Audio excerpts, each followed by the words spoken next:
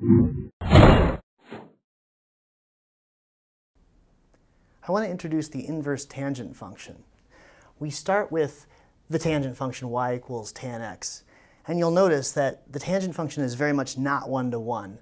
So in order to be able to invert this function, we first have to restrict its domain to a portion that is one-to-one. -one. So we pick the center period from negative pi over 2 to pi over 2.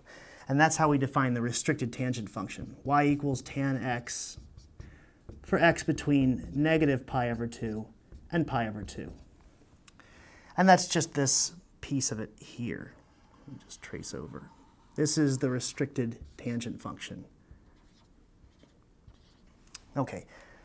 And of course, the restricted tangent function has five key points, if you include the two asymptotes that bound it. You've got negative pi over 2, where tangent's undefined, negative pi over 4, negative 1, 0, 0, pi over 4, 1, and again another uh, vertical asymptote at pi over 2, which is because tangent's undefined. Now, the inverse of the restricted tangent function is called y equals inverse tangent x, and it's also written y equals arctan. And I want to graph it. In order to graph it, I take the points from here and I switch the x and y coordinates. So for example, for this point, negative pi over 4, negative 1, you get negative 1, negative pi over 4. So this point goes right about here. It's kind of hard to tell. This is, this is my negative 1, and negative pi over 4 is halfway between 0 and negative pi over 2. So right about there. And then 0, 0 is a point. And pi over 4, 1 becomes 1 pi over 4. So 1 is about here. Pi over 4 is halfway between 0 and pi over 2. So there's my 1 pi over 4.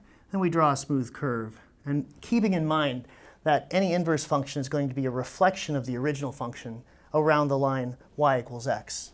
So something like this and this. Now, I haven't yet drawn the asymptotes, but what's interesting is, you know, in this graph, I've basically interchanged all the x and y coordinates of this graph. So I also interchanged the x and y coordinates for the asymptotes. The asymptotes are originally x equals negative pi over 2, x equals pi over 2. The new asymptotes are y equals negative pi over 2 and y equals pi over 2. So let me draw those. Here's negative, negative pi over 2. And here's positive pi over 2.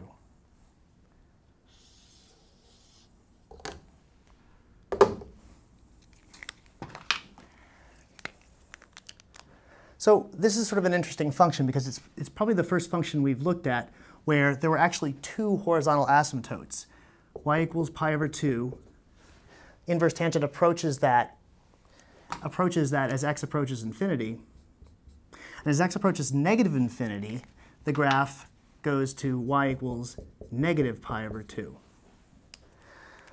So this is the graph of y equals inverse tangent x or arctan x. And one more thing, the domain and range of this function. You can probably tell by looking at the graph that the domain is going to be all real numbers. So inverse tangent can take all real numbers. And the range you're restricted to between negative pi over 2 and pi over 2.